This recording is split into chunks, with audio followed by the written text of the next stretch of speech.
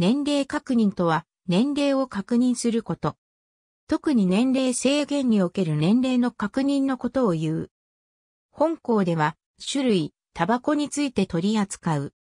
日本では、未成年者飲酒禁止法、未成年者喫煙禁止法により、満20歳未満の者の飲酒、喫煙は禁じられている。両法は、満20歳未満の者が自分自身で飲酒、喫煙することを知りながら販売した者は50万円以下の罰金に処せられると規定している。また、風俗営業法の適用を受ける飲食店に対しては、それよりも重い1年以下の懲役、または100万円以下の罰金が課される。そのため販売店側は、購入者が20歳以上であるかの確認を何らかの方法で行う必要があり、これを年齢確認と呼称する。年齢確認の方法は法律で規定されていない。アメリカ合衆国では店員の裁量により酒、タバコの販売時にそれらが販売可能な年齢かを確認するため、購入者に対して身分証明書の提示を求めている。コンビニエンスストアやスーパーなどの小売店では、レジ生産時、また居酒屋やレストランなどの飲食店では、入店時や喫煙席への案内時、種類の注文時等に年齢確認を行う。購入者に年齢確認できる身分証明書をご提示いただけますかなどと伝え、身分証明書の提示を求めて20歳以上であるかを確認する。警察庁、国税庁等の行政は未成年者と思われる者に対して年齢確認を行うこととの指導を各業界団体に言っている。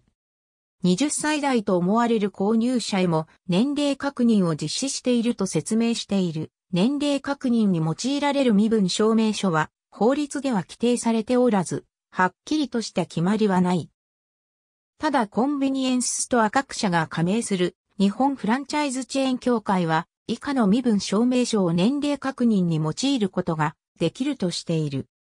運転免許証、タスポカード、個人番号カード、学生証、健康保険証、年金手帳、年金証書、パスポート、住民基本台帳カード、外国人登録証明書及び在留カード、特別永住者証明書、各種福祉手帳、いずれもコピーは、不可現状では運転免許証、タスポカード、健康保険証、学生証などの広く普及している身分証明書による確認が圧倒的に多い。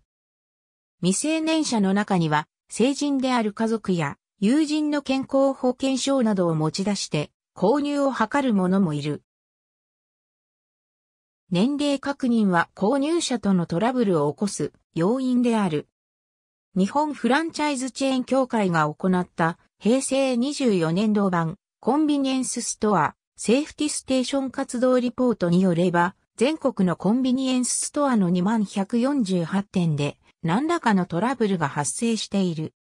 具体的なトラブルとしては、素直に応じず、文句を言う、大きな声で恫喝する、暴行、暴行がある。年齢確認されることを理解していない購入者、とりわけ成人の購入者とのトラブルが頻発しており、レジ画面の年齢確認タッチパネル導入後は、年配の購入者がトラブルを引き起こすケースも多い。また、未成年者に販売を断ったが、同伴の成人が代わりに購入するというケースもあり、実質的に未成年者に販売することになる難しい対応を迫られるケースも多い。年齢確認に立腹した購入者が不快感を示す、言動、販売を迫る恫喝や嫌がらせ等は販売員に心理的な負担を与える。このようなトラブルを避けるために年齢確認をあえて行わないというものも少なからずいる。年齢確認に指差しシートはレジカウンターに貼り付けられた年齢確認を行いやすくするシートである。20代の購入者には身分証明書の提示をお願いしているという旨が記載されている。指差し確認をお願いしますと販売員が伝え、種類、タバコの購入者にシート上に記載された20代、30代以上の太枠のどちらかを指差ししてもらう。20代を選択した購入者には身分証明書の提示を求める。また30代以上を選択した購入者であっても、販売員が20代と判断すれば、身分証明書の提示を求める。未成年者への販売防止を徹底するために、自主的取り組みとして、20代と思われるものへも、年齢確認を行うことが求められていた。このシートを活用すれば、10代の未成年者が実年齢から10歳以上も離れた30代以上を申告することは考えにくくなり、20代の購入者へも身分証明書の提示を求めることができる。見た目が20代に見えるグレーゾーンの購入者にも確認するというルールを作ることで年齢確認を行いやすくする狙いがある。年齢確認ボタンは2011年12月からコンビニエンスストア各社やスーパーマーケットなどの小売店で導入されたシステムである。年齢確認できる身分証明書をご提示いただく場合がございますと表示している。種類、タバコのバーコードをスキャンすると、購入者側のレジ液晶画面が年齢は20歳以上ですか？という表示に変わり、年齢確認が必要な商品ですという旨の音声ガイダンスが流れる。購入者が、はい、私は20歳以上ですのボタンを指でタッチすると、身分証明書の提示をお願いすることがありますと、再び音声ガイダンスが流れる。販売員が身分証明書の提示を求める場合はこのタイミングで行う。地域によってはこのシステムが異なり、前述した年齢確認指差しシートのように20代、30代以上の選択肢が購入者側のレジ液晶画面に表示され、20台をタッチした場合には、音声ガイダンスが身分証明書の提示を求める。このシステムは2011年12月にセブンイレブンが初めて導入した。これまでもコンビニエンスストア各社は年齢確認実施中ポスターの設置、年齢確認が必要な商品ですの音声ガイダンス、店内放送による年齢確認への協力の告知などを行ってきた。しかしながら、年齢確認に非協力的な購入者は多く、高校生アルバイトなどの販売員によっては、自分より年上かもしれない購入者に、身分証明書の提示を求めづらい場合もある。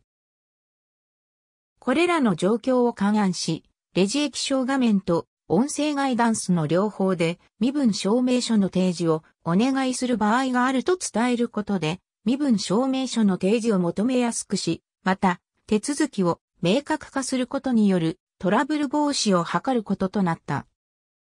このシステムを導入していたイオンは、2014年1月14日、成人の日に意見広告、イオンは種類、タバコ販売時のタッチパネルでの年齢確認方法を改めますを新聞各社に掲載しシステムの撤廃を告知した。平成24年度版コンビニエンスストアセーフティステーション活動リポートタバコ年齢確認トラブル増猛成人起こる客も喫煙少年コンビニへタバコ購入の8割タスポ導入で歩道は減少県警調査未成年者には売らない。買わせない。ストップ、アンダー 20SS 広場。ありがとうございます。